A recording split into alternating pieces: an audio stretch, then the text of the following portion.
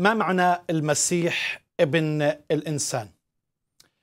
أهلا وسهلا أعزائي المشاهدين بنرحب فيكم مرة تانية في برنامج ليكن نور حديثنا عن المسيح ابن الإنسان ماذا تعني هذه الكلمة؟ كيف نفهمها؟ وما هي الدلالات على هذه الكلمة؟ هل في معنى أعمق من مجرد كلمة ابن إنسان؟ وهل في رسالة من وراء مجيء ابن الإنسان؟ أنا بدعوك أنك تشاهد هذه الحلقة رح تكون سبب بركة لحياتك. آه طبعا بعد آه يعني شيء 25 دقيقة رح نفتح أرقام الهواتف والسكايب. آه فيك تتواصل معنا بكل سرور رح نرد عليك. إذا عندك مداخلة أو أي سؤال أو أي استفسار. ابقوا معنا. سأعود بعد هذا الفاصل القصير.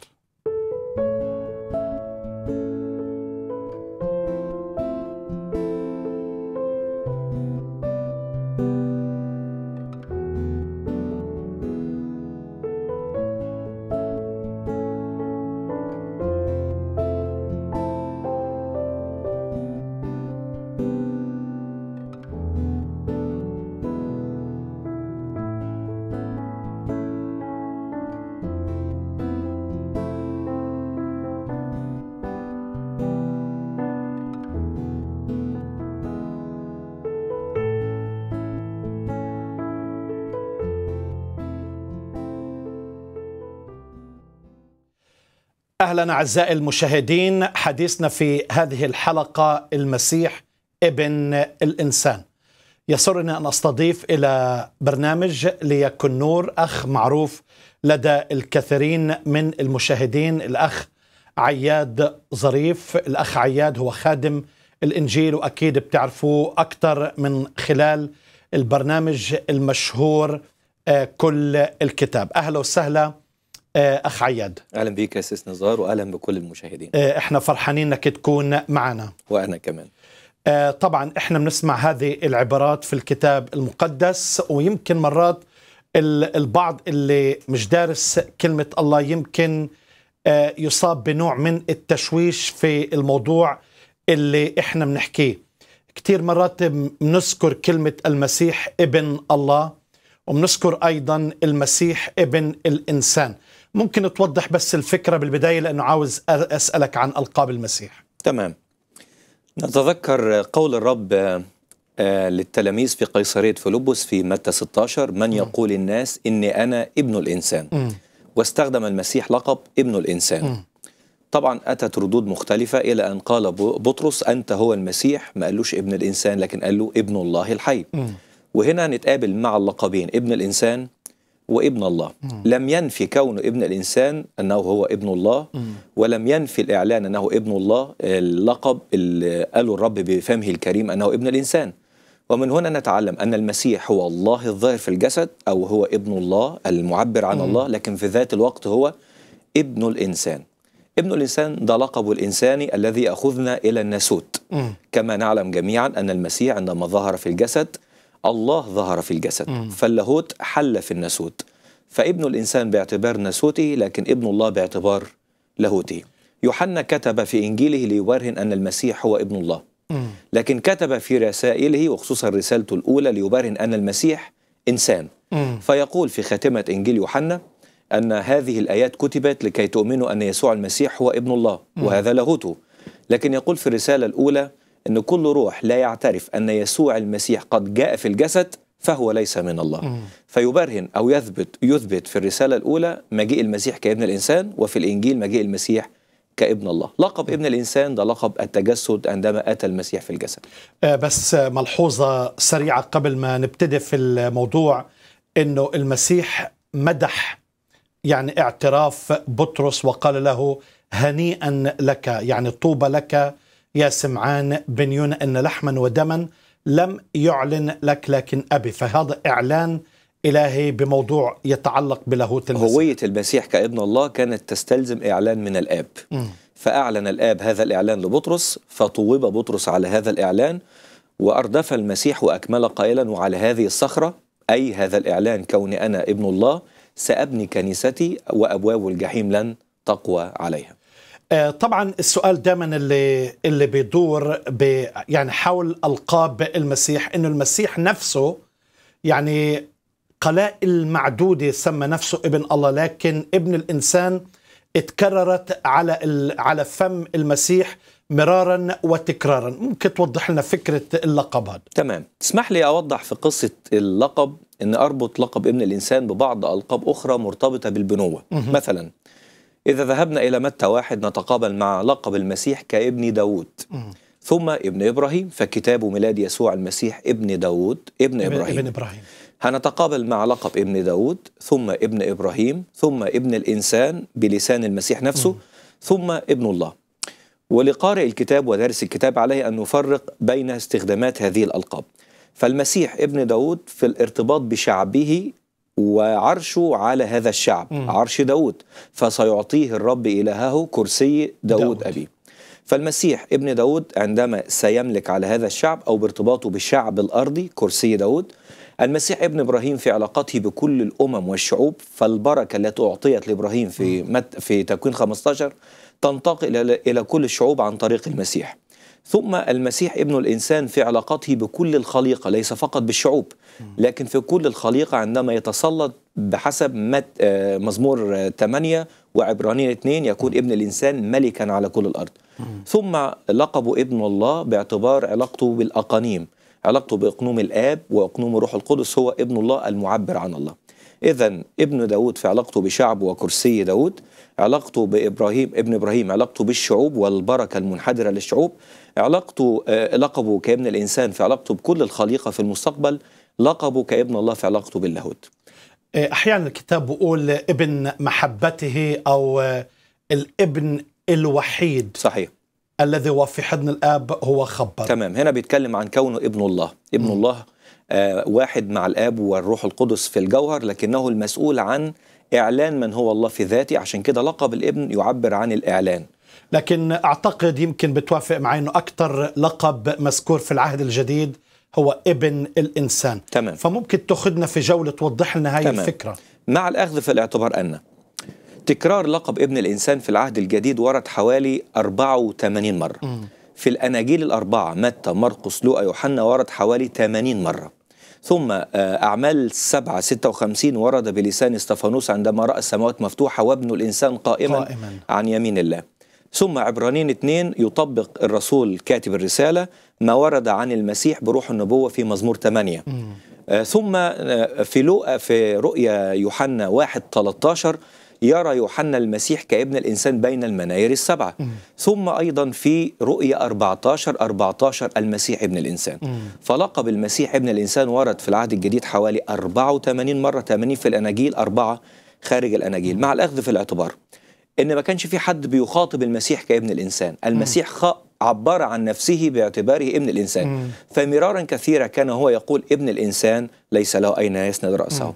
ابن الإنسان ماض كما هو مكتوب. مم. ابن الإنسان هو رب السبت. فالوحيد الذي استخدم هذا اللقب المسيح. إلا في اللفظ اللي قاله إستفانوس عن المسيح عندما كان المسيح في المجد فرآه قائما عن يمين الله. التلاميذ كانوا ينادوا عليه يا معلم يا معلم يا رب. أو ربي وسيدي. مم. يا معلم أو ربي وسيدي. مع الأخذ في الاعتبار أن في العهد القديم لقب ابن الإنسان أو ابن آدم ذكر عن مثلا ذكر عن حسقيال حوالي 93 مرة مم. بس ما نلاقيش حسقيال بيخاطب بي بيعبر عن نفسه يقول أنا ابن الإنسان مم. لكن الله كان يناديه يا ابن آدم مم. فكان يخاطب كابن آدم أما المسيح كان يتكلم باعتباره ابن الإنسان مم. ده عن حسقيال مم. هذا اللقب ابن الإنسان جاء في العهد القديم أيضا عن المسيح قبل التجسد جاء عنه في نبوة دانيال أصح سبعة الذي قرب أو قدم إلى قديم الأيام لكي تتعبد له كل الشعوب وجاء أيضا عنه صيغة نبوية في مزمور 8 اللي طبقها بعد كده. الرسول كاتب العبرانيين في عبرانيين 2 آه عن سيادة المسيح باعتباره ابن الإنسان جعلته متسلطا على كل شيء أخضعت كل شيء تحت قدمي. فهذا هو لقب ابن الإنسان بحسب العهد القديم وحسب العهد الجديد. طيب لأنه لاحظ إنه في العهد الجديد إنه المسيح كان يطلق على نفسه ابن الإنسان. ليه؟ طالما هو يعني ابن الإنسان آه، عاوز أكيد في رسالة عاوز يوصلها تمام. للمستمع. تمام. كما شرحنا في المقدمة أن يوحنا كان مشغولا في إنجيله أن يقدم المسيح كابن الله. في رسالته يبرهن على ناسوت المسيح. مم. المسيح عندما أتى إلى هذا العالم أتى باعتباره الله الظاهر في الجسد لكن مش بس كده. أتى لكي يكون هو الإنسان الكامل بديلا عن آدم الإنسان الأول. فآدم الإنسان الأول فسد وعصى وبواسطته أدخلت الخطية إلى العالم وبالخطية الموت. فكان آدم الأول مورثا العالم للخطية. أما المسيح كآدم الأخير والإنسان الثاني صنف مختلف من الإنسانية. وعندما يقول عن نفسه مرارا وتكرارا أنا هو ابن الإنسان كأنه يريد هذه هي الإنسانية كما يريدها الله. صنف جديد من الإنسانية. لم يفعل شيئا لحسابه ولا لنفسه لكن كان شعاره في الحياة لطعامي أن أعمل مشيئة الذي أرسلني وأتمم عمله. فالسؤال يعني أنت بتتكلم عن إرسالية المسيح إرسالية فطالما الم- إرسالية المسيح ليه صار إنسان؟ تمام. أتى المسيح لكي يخلص. فمثلا في متى 18 قال عن نفسه ابن الإنسان قد جاء لكي يخلص. طب يخلص الناس من إيه؟ يخلص الناس من خطاياهم. نعم. كيف يخلص الناس من خطاياهم؟ كيف يخلص؟ كيف يتعامل مع مشكلة الخطية؟ مشكلة الخطية كانت تقتضي موت لأن أجرة الخطية هي موت. هي موت. وعدل الله كان يقتضي أن يكون هناك من ينفذ الحكم على الصليب أو وسيلة العقاب. الله لا يموت. لكن علشان الله يحل المشكلة ديت كان لابد للتجسد. عبرانيين اتنين فيها سبع أسباب تقول لنا لماذا التجسد. مم. من ضمنها إذ قد تشارك الأولاد في اللحم والدم. اشترك. اشترك هو أيضا كذلك فيهما أي اتخذ لنفسه جسدا. لماذا؟ لكي يبيد بالموت. ذاك الذي له سلطان الموت أي إبليس. إذا اتخذ المسيح جسدا حل الله في الجسد. لكي بهذا الجسد يذوق بنعمة الله الموت. وعندما يموت فإنه يتعامل مع مشكلة الخطية مم. ويتمم قول الإرسالية في متى 18 11 لأن ابن الإنسان قد جاء لكي يخلص. فلم يكن في الإمكان أن يخلص إن لم يتخذ لنفسه جسدا ويكون في هذه الأرض في شبه الناس ابن الإنسان طبعا إحنا بنتكلم عن تواضع المسيح في هذه الحالة لكن آه، بلاحظ كتير في اصطلاحات في في الأناجيل المقدسة اللي بتتكلم عن المسيح ابن الإنسان كتعبير أو كوصف للاهوته مثل ما ذكرت سريع أنت لكن بدون الشرح إنه ابن الإنسان رب السبت تمام. هاي كلمة كبيرة مثلا ولا سيما إنه السبت يعني واحد من الوصايا المقدسة تمام. جدا في العهد القديم تمام. شاركنا في الموضوع عندما أتى المسيح إلى هذا العالم أتى في ثوب الإتضاع واتخذ لنفسه جسدا الكلمة صار جسدا وحل بيننا. لكن نعلم كلنا أن المسيح وهو إنسان هو الله الظاهر في الجسد. برهن بمعجزاته عن كونه الله الظاهر في الجسد وعبر بأدبياته وتعاليمه عن كونه الإنسان الكامل. لكن لم يغفل مطلقا أن يمزج الاثنين معا عندما يعطي تعبير أن وأنا ابن الإنسان أنا بذاتي الله الظاهر في الجسد. من ضمنها طبعا في أدلة كثيرة في الأناجيل الأربعة لكن همر على أربع أدلة. مثلا إذا رحنا لمتى تسعة؟ متى تسعة في حادثة شفاء الم- المفلوج المقعد آه، الرب عبر عن تعريفه لنفسه بهذا القول أن ابن الإنسان له سلطان على الأرض أن يغفر الخطايا. فمتى تسعة ستة يقول مثلا ولكن لكي تعلموا أن لابن الإنسان سلطانا على الأرض أن يغفر الخطايا من الذي يغفر الخطايا؟ الله هنا أشار إلى ابن الإنسان يغفر الخطايا لكي يوضح أنه ليس هناك فرق بين الله وابن الإنسان فابن الإنسان هو الله الظاهر في الجسد.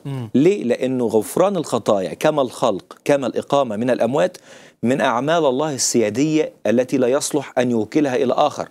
لأن الخطية ارتكبت ضد الله ومن له الحق أن يقول أغفر لك هو الله من ارتكبت الخطية في حقه. فالمسيح برهن أنه هو الله لكن بهذا اللقب ابن الإنسان المتحد باللاهوت.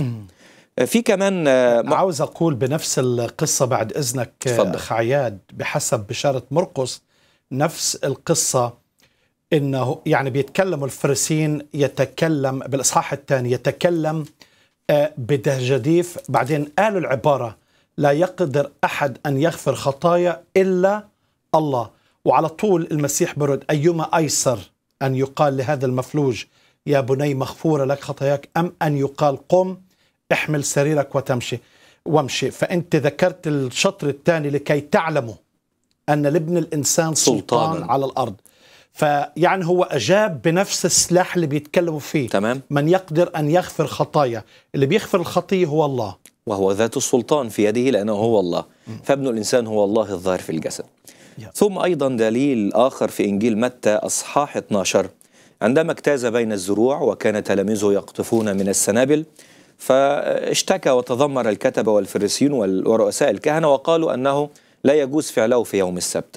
قال لهم يسوع في عدد سبعة فلو علمتم ما هو إن أريد رحمة لا ذبيحة لما حكمتم على الأبرياء فإن ابن الإنسان هو رب السبت. هذا دليل آخر على كون ابن الإنسان ليس مجرد إنسان ابن إنسان لكنه هو الله الظاهر في الجسد. فمن هو رب السبت؟ السبت هذا آه شيء يخص يهوى فقط يخص الله فقط.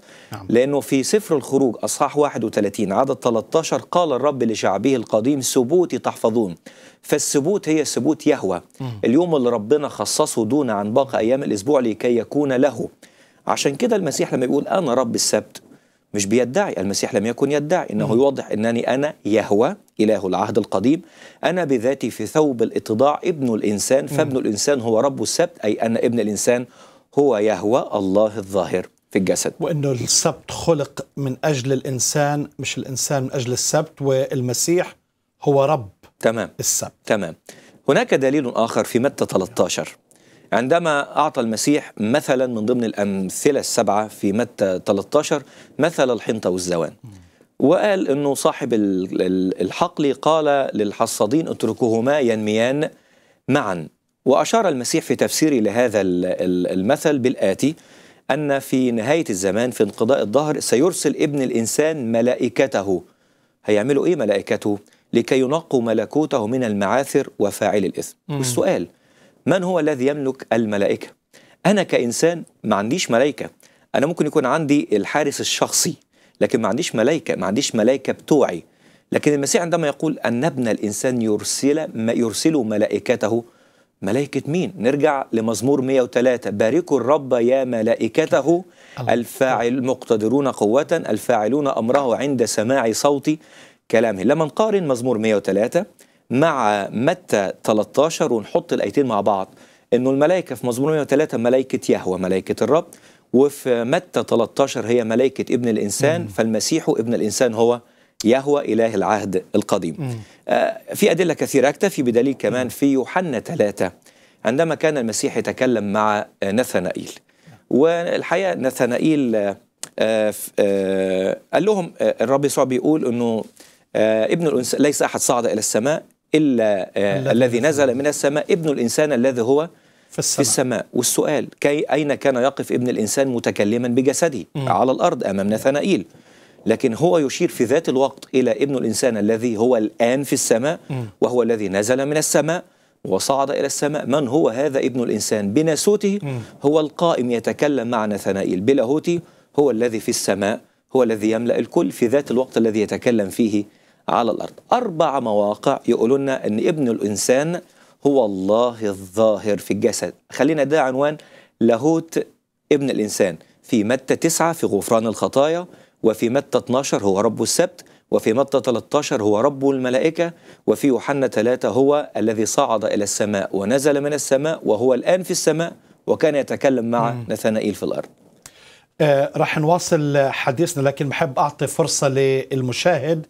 آه إذا لو الموضوع أثار أي سؤال في داخلك على فكرة بنحب نسمع منك. بعد قليل رح نفتح أرقام الهواتف فيك تتواصل آه معنا. آه سأعود بعد هذا الفاصل القصير.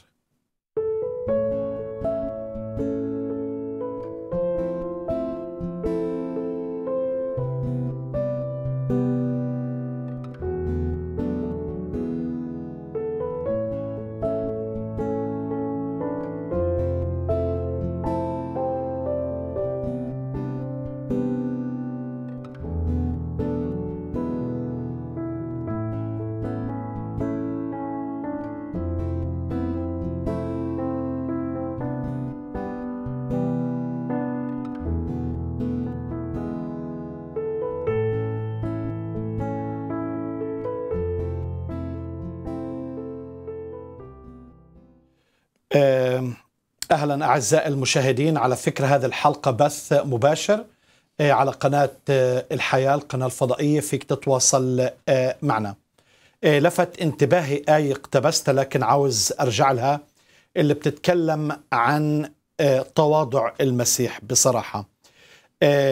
واحد من التلاميذ قال أتبعك أينما تمضي. أجاب يسوع وقال له للثعالب أوجرة ولطيور السماء أوكار وأما ابن الإنسان فليس له أين يسند رأسه. ف يعني الآية بحد ذاتها مش بس تتكلم يعني تتكلمت عن اللاهوت وعن أشياء مجيدة لكن هم تتكلم عن تواضع عن محدودية. طبعا آه، هناك قاعدة لفهم أقوال الكتاب المقدس إذا أحبائنا المشاهدين تتبعوها هتتفك كثير من الاشتباكات. عندما يتقابل بعض القراء مع بعض هذه القراءات التي تتكلم عن تواضع المسيح عن فقر المسيح يصدم كيف لله أن يكون فقيرا كيف لله أن يجوع. نحن نتكلم عن جزئية إنسانية المسيح. تكلمنا عن لاهوت المسيح ونتكلم عن إنسانية المسيح. ففي إنسانية المسيح للثعالب أوجر ولطيور السماء أوكار أما ابن الإنسان فليس له أين يسند رأسه. في لاهوته هو مالك السماوات والأرض. كل سماء السماوات لا تسع مجده لكن في اتضاعه وفي ثوب الاتضاع أتى وعاش فقيرا. عاش في الأرض فقيرا. ربنا فاد الخطاة عاش فقيرا معوزا. مش بس كده ما كانش له أين يسند رأسه. عندما طلب منه أن يدفع الجزية لم يكن له ما يدفع به الجزية فأمر بطرس أن يذهب إلى البحر. ويلقي الصنارة ويصطاد السمكة ويجد فيها ستار ويدفع عنه لماذا؟ لأنه جاء فقيرا لماذا فقيرا؟ يقول لنا الرسول بولس تعرفون نعمة ربنا يسوع المسيح أنه من أجلكم افتقر وهو غني لماذا؟ لكي تستغنوا تستغنوا. أنتم بفقره أتى إلينا في ثوب الاتضاع وبحسب درجات التواضع السبع اللي موجودة في فيليبي 2 أتى المسيح صائرا في شبه الناس نزل إلى أقصى أو أدنى درجات التواضع لكما يرفعنا نحن إلى زور المجد. مش كده بس.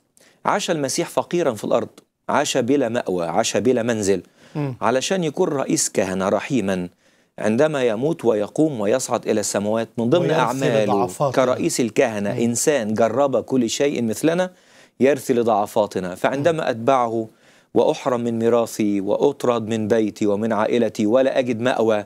عندما لا أجد صديقا فإني أرفع عيني إلى السماء وأجد شخصا قد سلك الدرب قبلي يسوع المسيح وطرد ولم يكن له أين يسند رأسه لكنه غلب وهو الآن في قمة المجد يرثي لي عشان كده بنشجع أحبائنا المضطهدين المهجرين لأجل اسم المسيح. هناك من سبقكم كابن الإنسان في هذا الدرب ارفعوا عينيكم عليه وتعلقوا به. طبعا عاش لاجئا في في مصر ورجع إلى الناصره حتى البيت البسيط اللي كان عندهم. آه، تركوا المسيح بسبب رفض الناصرة وبحسب لوقا 8 إنه كان يعني آه، في كان نساء كنا يخدمنهن يخدمن أموالهن. من أموالهن. تمام. فحتى كان بيعتاش على ضيافة الناس وعلى المساعده وهذا أجمل أجمل صورة تمام. آه، للتواضع. تمام. وطبعا أنت لما تكلمت عن الدرجات السبع أنا بعتقد أنك أنت بتصل لدرجة العبد يعني. طيب. آخذا آه، صائرا في شبه الناس. آخذا صورة عبد صائرا في شبه الناس. وإذ وجد في الهيئة كإنسان وضع نفسه وأطاع حتى الموت موت الصليب. لم يكن له مكانا لكي يبيت فيه. كان كل إنسان يذهب إلى بيته أما يسوع فيذهب. إلى الجبل. لم يكن له آه، آه، آه، يعني ملابس كثيرة فعند الصليب أخذوا الرداء والقميص الذي كان عليه ولم يكن لديه البديل. لم يكن معه المال الذي يدفع به الجزية. كان فقيرا جدا بإرادته. فبولس عندما يقول فأنه افتقر وهو مش الغني لكن غني يعني في ذات الوقت الذي هو فقير هو غني. لم يتخلى عن غناه. وهذا هو الإخلاء. الإخلاء مش كف عن أن يكون غنيا فصار فقيرا. لا أخفى مظاهر الغنى في ثوب الإتضاع فبدأ كأنه فقيرا. آه، طبعا إحنا بنتكلم على تواضع ابن الإنسان آه، لكن برضو هاي الحقيقة التي يجهلها الكثير من آه، من الناس. طب إذا إحنا بنتكلم من خلال هذه الحلقة كيف فينا نوضح هاي الحقيقة اللي فعلا الناس بتجهلها؟ حقيقة كون أن المسيح ابن الإنسان. أتى المسيح كابن الإنسان قلنا لكي يذوق بنعمة الله الموت فبالناسوت سوف يموت لأن اللاهوت لا يموت. أتى لكي يكون قريبا من البشر. المعوزين المساكين الم- المنبوذين. فمثلا أتوقف عند آية وردت في متى 11 19 قال عن نفسه جاء ابن الإنسان يأكل ويشرب فيقولون هوذا إنسان أكول وشريب. ده ادعائهم عليه. والشريب خمر. هم قالوا عنه كده. لكن هو كمان بيكمل محب للعشارين والخطاة. فأتى المسيح لكي يكون قريبا من العشارين المنبوذين والخطاة بناسوته.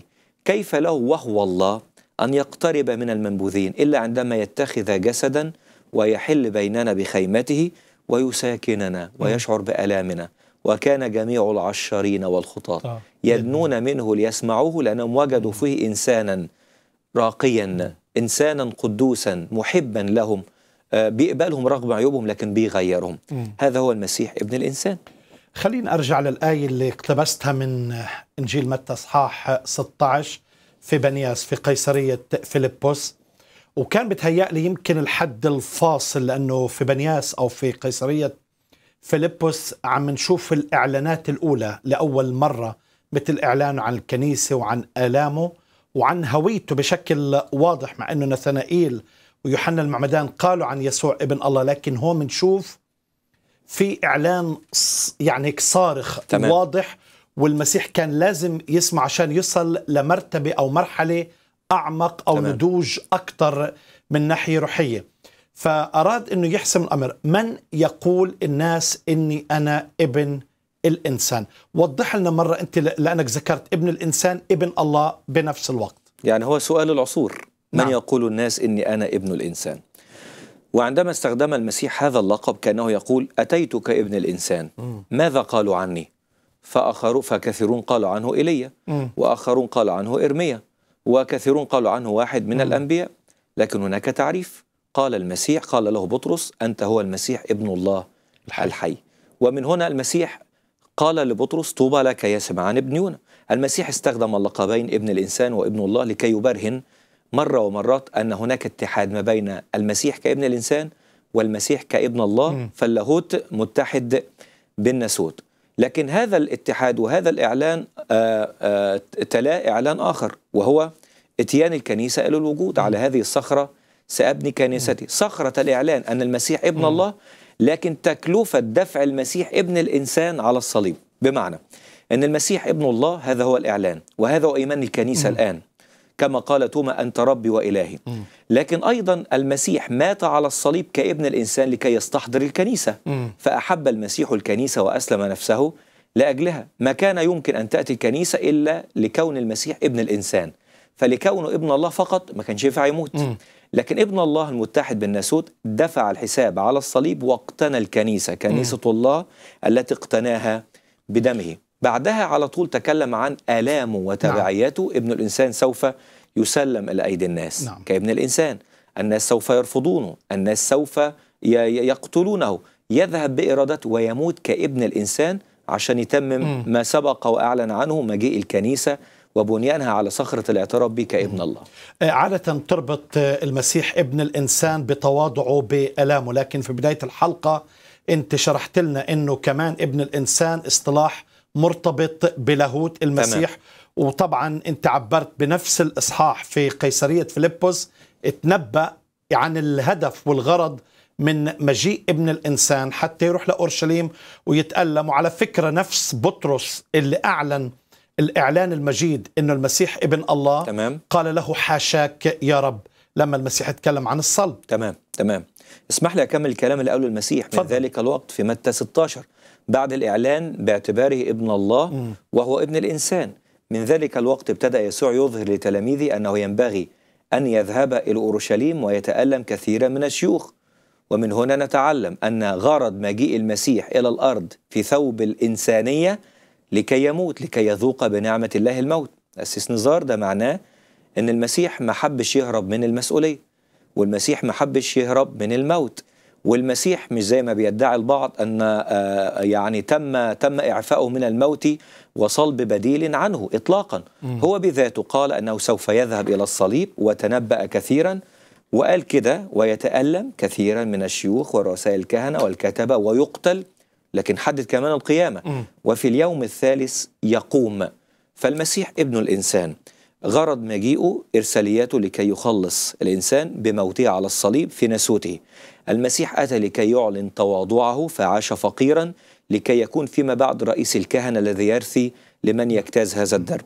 المسيح كابن الإنسان كان متاحا للعشارين والخطاة فكان جميع العشارين والخطاة يدنون منه ليسمعوا.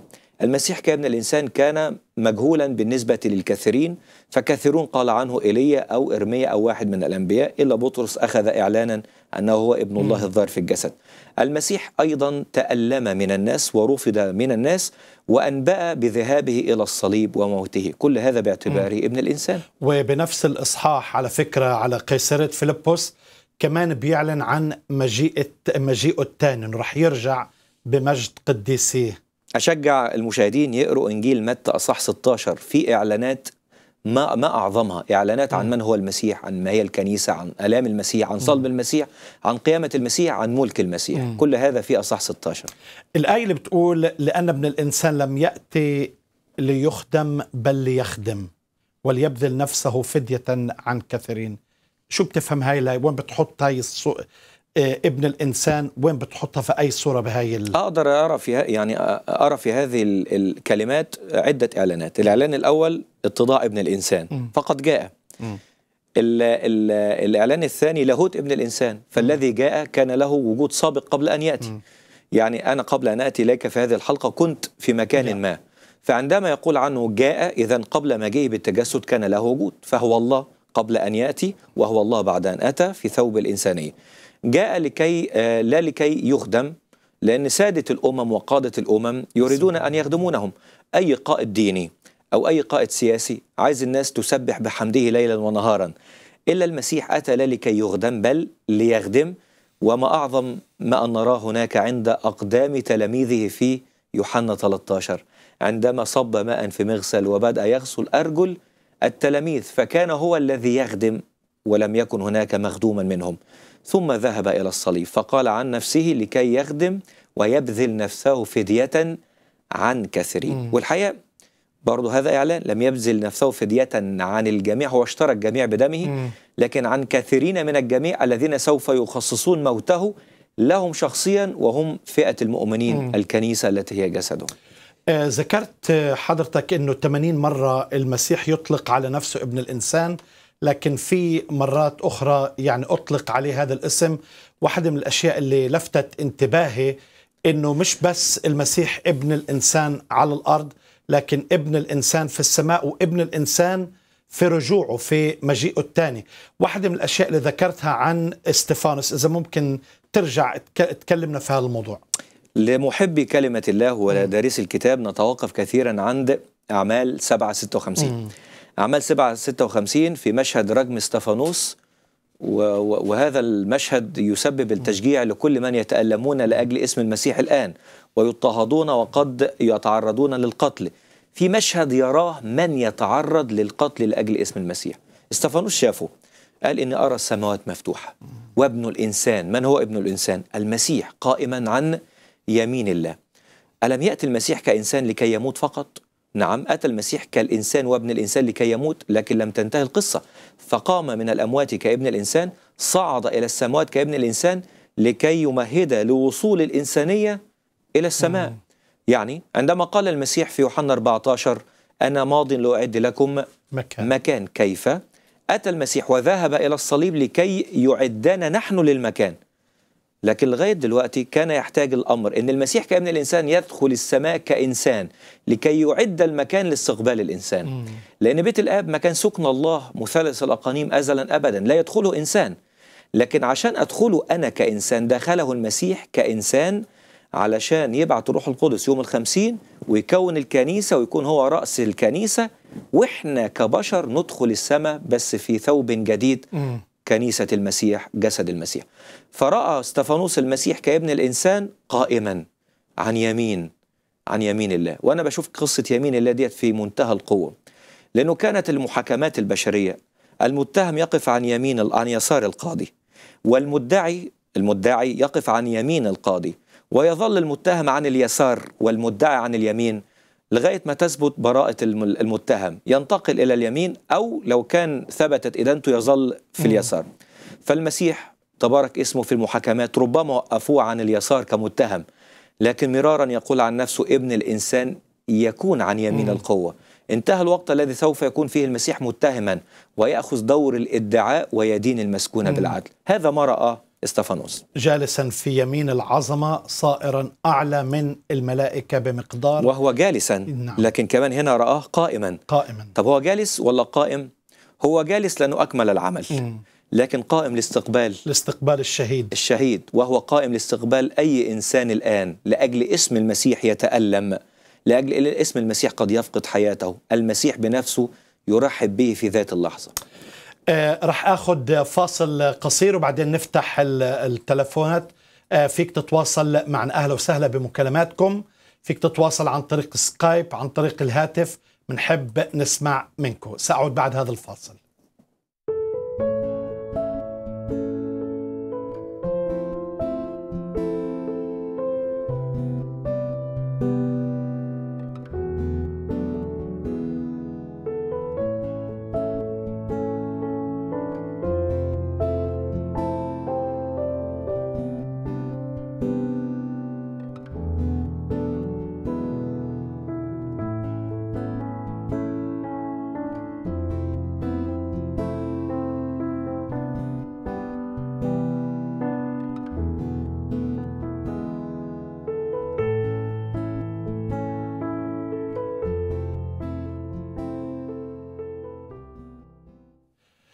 أهلا أعزائي المشاهدين أنتم تشاهدون ليكن نور حديثنا عن المسيح ابن الإنسان.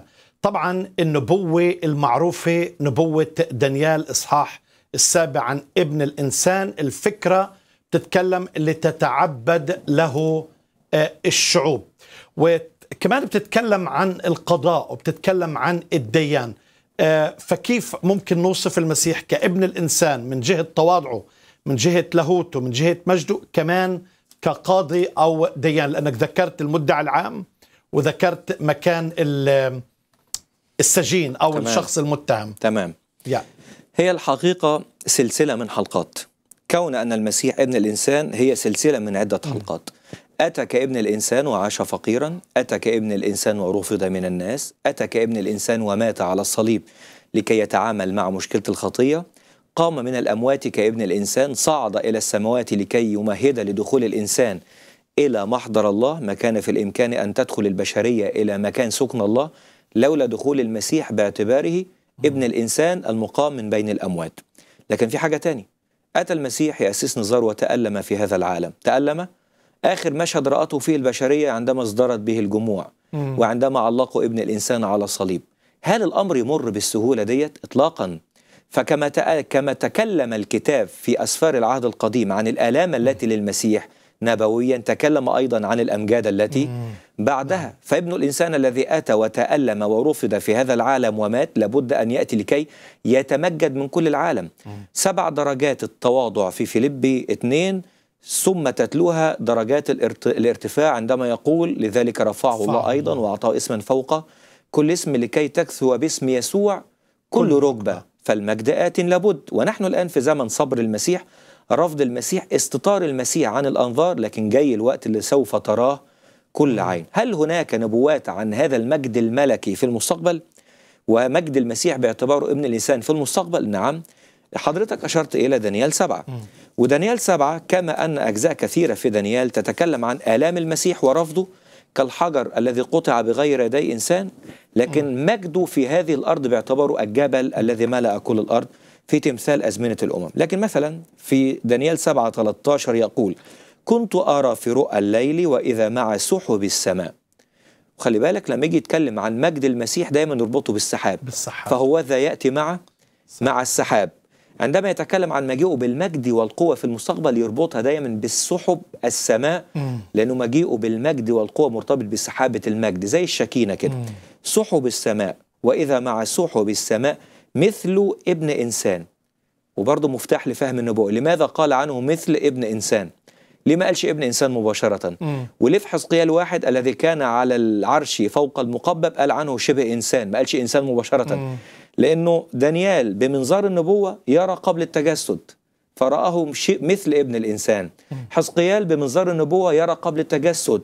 فيرى شبه ابن إنسان لكن قال المسيح عن نفسه بعد التجسد ابن الإنسان نعم. وقال استفانوس عنه ابن الإنسان بعد التجسد والقيامة والصعود فيقول مثل ابن إنسان أتى وجاء إلى القديم الأيام فقربوه قدامه فأعطي سلطانا باعتباره ابن الإنسان مم. ومجدا وملكوتا لتتعبد له كل الشعوب والأمم والألسنة.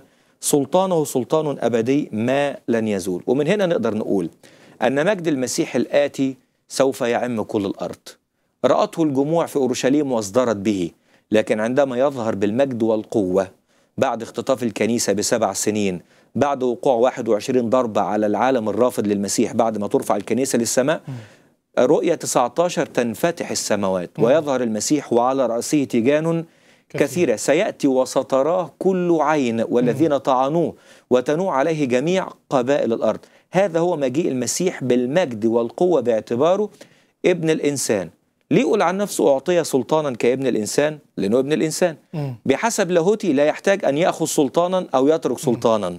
لكن باعتباره ابن الإنسان الآب كافأه بالسيادة والملك لأنه أكمل العمل. اجلس عن يميني حتى أضع أعداءك موطئا لقدميك. أكمل العمل بجدارة. تمام. خلينا نأخذ بس دقيقة دقيقتين. الكتاب يتكلم عن علامة ابن الإنسان. إذا فيك توضحها. متى 24 يتكلم عن أحداث ما تسمى أسبوع دانيال السبعين؟ اللي هي موجودة في سفر دانيال أصح تسعة. آه، م- مضت 69 أسبوع إلى أن قطع المسيح وليس له ادخلت الكنيسة كجملة اعتراضية أدينا 2017 سنة لغاية ما ترفع الكنيسة يبتدي الأسبوع الأخير أسبوع دانيال.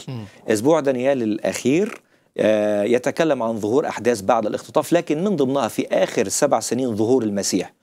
ظهور المسيح بالمجد والقوة وله علامة حينئذ تظهر علامة ابن الإنسان في السماء متى 24 30 علامة ابن الإنسان في السماء عندما يظهر وتراه كل عين عندما يأتي بالمجد والقوة لأن الحقيقة سبق هذه العلامة علامتان. علامة في لوقا أصحاح آه ثلاثة تتكلم عن اتضاعه وعلامة تتكلم عن رفضه. فعلامة ات- اتضاعه عندما ولد. قال عنه الملائكة تجدونه وهذه لكم العلامة. لوقا 2 تجدوا آه لوقا 2 تجدونه طفلا مقمطا مضجعا في في مزود. مزود. فهذه كانت علامة الاتضاع. لكن سمعان الشيخ بعدما حمله على يديه قال إن هذا وضع لسقوط وقيام كثيرين ولعلامة تقاوم. فكأن الصليب وموت المسيح علامة تقاوم من الناس.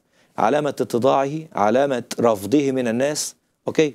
الناس ترفضه زي ما ترفضه. بس في جاية بقى علامة مش هتقدر تترفض.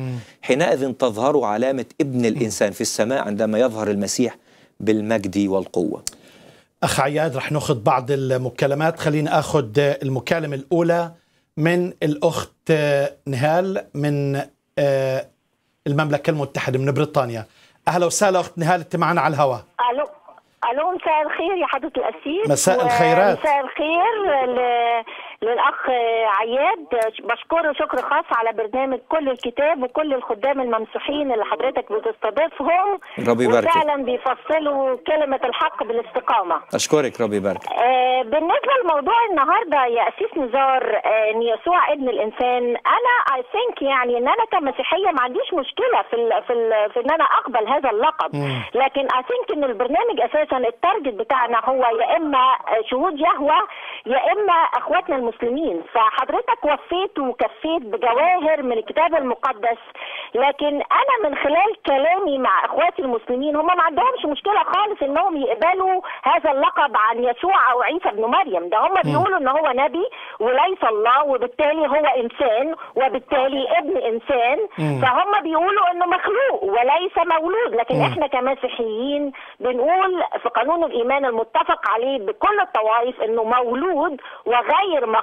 مساو للآب في الجوهر وهنا هو مربط الفرس ونقطة الخلاف الكبرى. فإحنا بنقول إن يسوع هو الله الظاهر في الجسد. لكن إخواتنا المسلمين الكلام ده طبعا هرطقة وكفر وشرك بالله. فعايزة وصلت. حضرتك توجه كلمة لمشاهد اولا لا يعترف بأن الكتاب المقدس هو كلمة الله علشان ما تجيبليش دليل على ألوهية المسيح من الكتاب المقدس لأن دي النوعية اللي إحنا. بنقابلها تاني حاجة إيه خطورة المشاهد اللي بيتوقف عن إن يسوع هو ابن الله وليس الله مثل شهود مم. أو إن يسوع هو نبي عادي وليس الله مثل إخواتنا المسلمين إيه الخطورة خصوصا إنه الحق اللي حضرتك قدمته النهارده قلت لي إن هو آه لم يكن له أين يسند رأسه وكانت نساء تعولهن من أموالهن. فبعدين بتطالبني كمشاهد مسلم إن أنا آمن بإنه هو ذات الشخص الله مالك الكون كله فده صعب مم. فبعدين بيتطلب إيمان طيب والإيمان أختي. ده من عند الله فهل الله يحاسبني على حاجة ما ادهنيش أخت نهال. ربنا يبارككم هو سؤال. طويل ونفسي حضرتك يعني تفيد لأنه لأهميته بيتكرر كتير علينا وعايزين إجابات صح. وافيه مش من الكتاب المقدس ربنا يباركك ربنا يباركك. لا بس عاوز اصحح يا اخت نهال لا الاجوبة لازم تكون من الكتاب المقدس. آه الأخ عياد أشار في البداية آه ابن الإنسان كلاهوت المسيح وعلى فكرة آه إن شاء الله عن قريب كمان مرة مع الأخ عياد رح نتكلم عن المسيح الخالق ورح نشوف يعني شو اللي بيميز آه، هذه الصفة وهذا العمل في شخصية المسيح عن أي شخص آخر. لكن سمعت أنت من الأخت آه، نهال لو عاوز يعني شخص غير مسيحي عم بيسمعك كيف نوضح له هاي الفكرة؟ أرجع من يشاهدني الآن ويسأل هذا السؤال مرة أخرى إلى متى 16 مم. قلنا متى 16 هو كنز من الإعلانات. قدم المسيح نفسه كابن الإنسان ثم وصل إعلان من الآب لبطرس أن المسيح لم يكن مجرد ابن الإنسان لكنه ابن الله الظاهر. في الجسد وهذا الإعلان كافي جدا لكي يبرهن لنا أن المسيح ليس فقط إنسان كما يعلم البعض وكما يدعي البعض لكنه هو الله الظاهر في الجسد. وأشرنا لأحبائنا المشاهدين من كل الأجناس والأديان أن المسيح بالمنطق وبالنص الكتابي لم يكن مجرد إنسانا فهو كابن الإنسان قال عن نفسه أنه رب السبت. من هو رب السبت إلا الله؟ يهوى الذي وضع شرائع وخصص السبت لنفسه بحسب خروج 31 13 أن المسيح ابن الإنسان غافر الخطايا. من يغفر الخطايا؟ إلا إلا, الله. الله أن المسيح ابن الإنسان هو رب الملائكة بحسب متى 13 مين اللي عنده فريق من الملائكة ولا إنسان. المسيح هو رب الملائكة لأن الملائكة هي ملائكة يهوى بحسب مزمور 103 أي واحد بيشوفنا دلوقتي عليه أن يذهب إلى هذا الكتاب وأن يقبل إعلان الله. فالإيمان معناه أقبل ما أعلنه الله إذا عن الشخص نفسه. بحب الحق يا اخ طبعا إذا الإنسان بده يجادل بس مجرد للجدل يعني ف وبعتقد يمكن الوضع اللي بيتوضح أكثر لما بنوصل عند موضوع المسيح الخالق. تمام وكمان إحنا أمامنا النص وأمامنا الإعمال العقل. فإعمال العقل يقول هل كان المسيح مجرد إنسانا عندما أقام الموتى عندما فعل المعجزات عندما خلق لم يكن مجرد إنسانا؟ هل ما قاله المسيح وما علمه وما عمله كان مجرد أعمال إنسان؟ اطلاقا. العقل يقول لم يكن مجرد إنسان. طيب خليني آخذ مكالمة في معنا مكالمة على السكايب من بولندا. أهلا وسهلا فيك آه، أخونا تفضل. آه، سلام المسيح أسيس نزار سلام المسيح أخ عياد. في صوت سامعني؟ آه، سامعينك تفضل. أهلا بيك. ألو؟ في آه. صوت سامعيني آه، سامعينك تفضل يا أخي. طيب أنا هسأل السؤالين آه، لا رغم إن أنا مش سامع سامعيني ولا مش عارف سامعيني ولا لا. السؤال سامعينا. الأول. طب يعني إيه جالس عن يمين العظمة؟ هو في السماء في واحد ولا في اتنين. عشان نرد على شهود يهوه. تمام. السؤال. الثاني بتاعي لماذا أكد المسيح على نسوته وكونه ابن الإنسان؟ ألم يكن بالأولى أن يعلن عن لاهوته فلماذا لم يعلن عن لاهوته دول السؤالين بتوعي بسرعة عشان وقت البرنامج. طيب. يا رب تكونوا سمعتوني.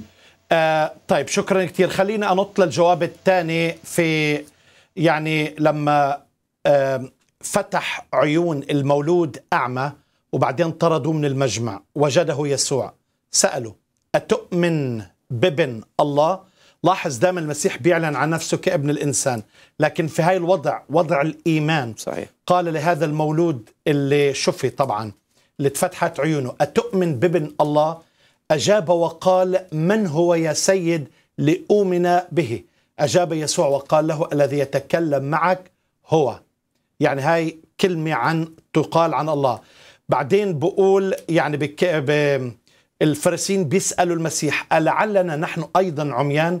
أجاب يسوع وقال لو كنتم عميانا لما كانت لكم خطية ولكنكم تقولون إننا نبصر فخطيتكم باقية. مين الشخص اللي بيفتح العين واللي عنده السلطان يقول أنتم عميان أو الخطية باقية؟ هو نفس الشخص اللي سأل هذا المولود أتؤمن بابن الله. آه وطبعا سأل عن الجالس عن يمين العظم. أنت شرحت شوي لكن تمام. وضحها من فضلك. الجلوس عن اليمين طبعا ليس في السماء ما يسمى يمينا أو يسارا لأن الله روح. نعم. والروح ليس له يمين أو يسار. لكن المعنى المجازي التقريبي لأذهاننا اليمين واليسار. فاليمين يتكلم عن الإنصاف ويتكلم عن القوة.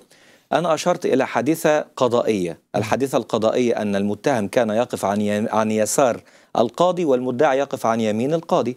إلى أن تثبت براءته فينتقل إلى اليمين. وكأن الآب بيقول للمسيح لقد وقفت كابن الإنسان في المحاكمات كالمتهم لكنك الآن قد غلبت. فغلبت وجلست. اجلس عن يميني. لم تعد الآن متهما من الناس لكنك الآن أنت من لك الحق أن تجلس عن اليمين. فهذا تعبير مجازي فهو تعبير الإنصاف لكن أيضا هو تعبير القوة. فاليمين تتكلم عن القوة.